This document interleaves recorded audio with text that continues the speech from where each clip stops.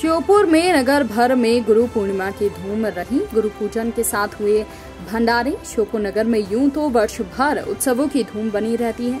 इसी क्रम में गुरु पूर्णिमा को लेकर सुबह से ही लोगों में उत्साह दिखाई दिया, जहाँ सुबह लोग अपनी दैनिक दिनचर्या से निवृत्त होकर अपने अपने गुरु के पूजन अर्चन को निकलते दिखाई दिए, जहाँ यहाँ पर सिलसिला ये चलता दिखाई दिया। गुरु पूर्णिमा पर शिष्यों ने अपने अपने गुरु की चरण वंदना कर पूजन अर्चन किया तो वहीं गुरु ने भी अपने शिष्यों को आशीर्वाद प्रदान किया।